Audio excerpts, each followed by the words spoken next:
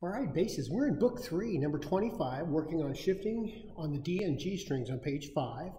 And this is number 25.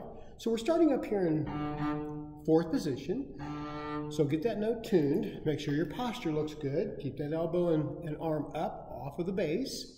Okay, and later on we're going to move up a whole step to fifth and a half position.